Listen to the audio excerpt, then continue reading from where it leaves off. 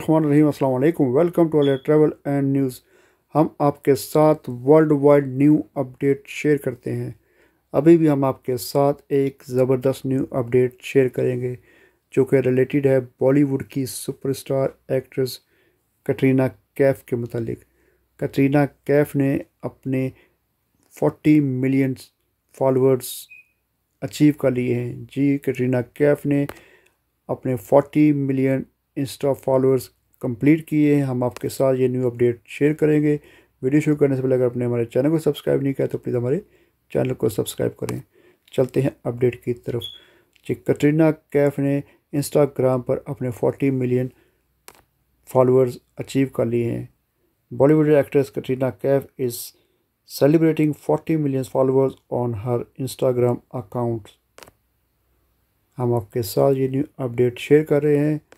کہ Bollywood کی actress Katrina Kaif نے فورٹی ملین فالوورز اچیو کیے ہیں۔ Katrina took to Instagram to thank her fans for showering so much love on her a bigger forty million sized hugs to everyone wrote the actress جی کٹرینہ کیف نے اپنے جو ان کے followers ہیں، ان کو انہوں نے تھینکس کیا ہے۔ اور اپنی کچھ ویڈیوز جو ہیں انسٹاگرام پہ جو ان کی وائرل ویڈیو تھی، جو فیمس ویڈیو تھی، ان کو بھی شیئر کیا ہے۔ کٹرینہ کیف نے۔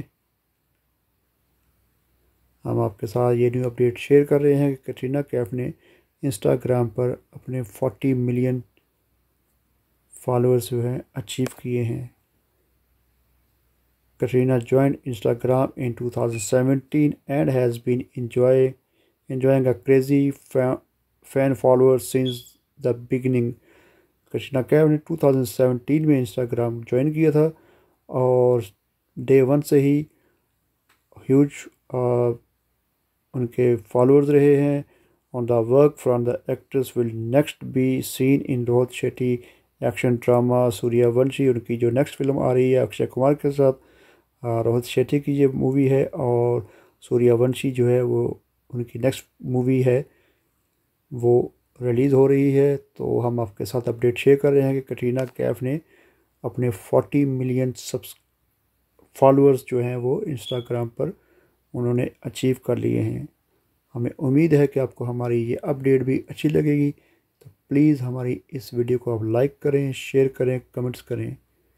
اور اگر آپ نے ہمارے چینل کو سبسکرائب نہیں کیا تو پلیز ہمارے چینل کو سبسکرائب کریں۔ ساتھ لگے بیل آئیکن کو پریس کر دیں تاکہ ہمارے آنے والی تمام ویڈیو آپ تک پہلے پہنچ سکیں۔ اپنا بہت خیال رکھیں، دعا میں یاد رکھیں۔ علیہ ٹریول نیوز کو اجازت دیں۔ اللہ حافظ۔